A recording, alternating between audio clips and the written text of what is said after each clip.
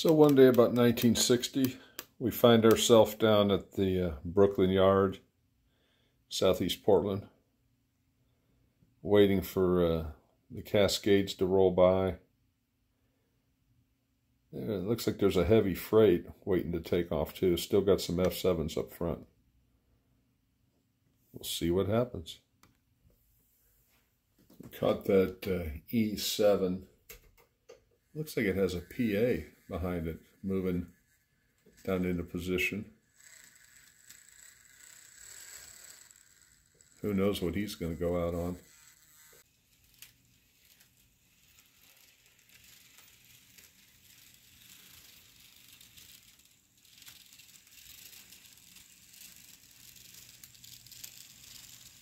There's that uh, new bloody nose paint scheme introduced in 58.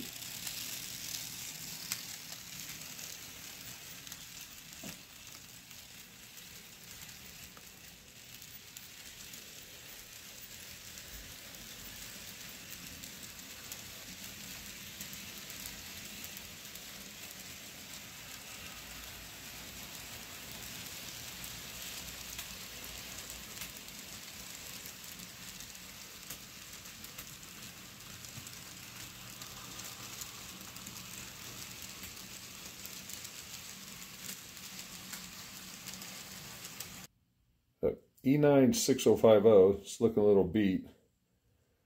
It's rumored to be the only E9 in uh, Black Widow paint.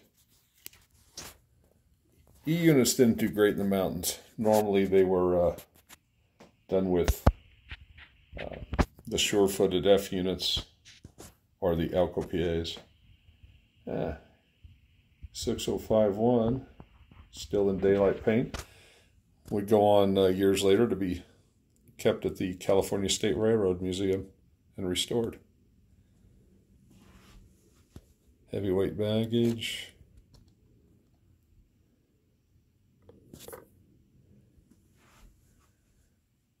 Now this one still has the three car articulated diner, lounge, cafe car, back from the old morning daylight, coast daylight.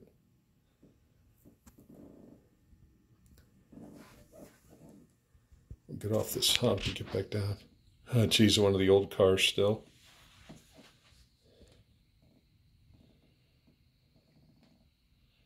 There's that through car down to Los Angeles.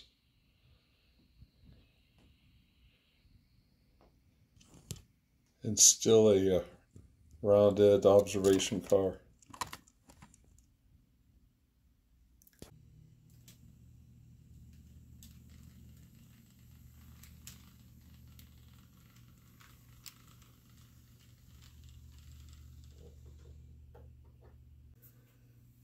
Finally, our E9 lead cascades, gets the high green, starts to tiptoe out of the yard. Now, why was set out there anyway, but heading south, Eugene, Chiloquin, Dunsmuir, Redding, Sacramento, eventually down to Oakland. That through car from Los Angeles will continue on.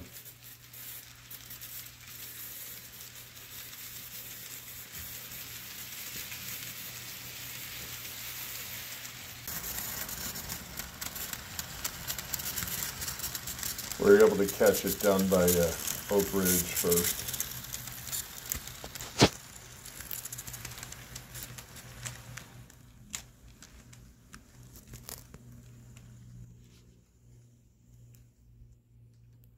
We hurried up into the mountains to get ahead of it.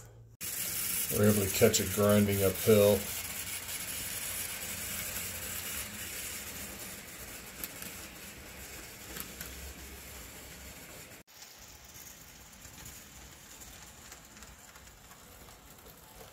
Up along out of Westfir.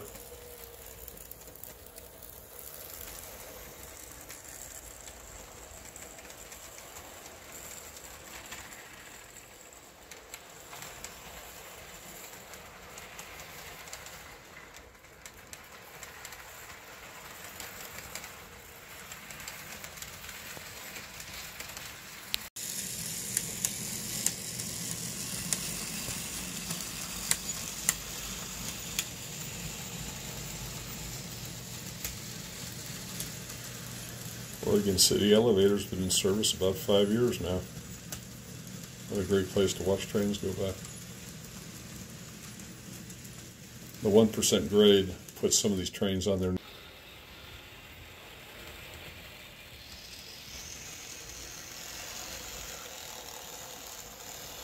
Come on, you can make it.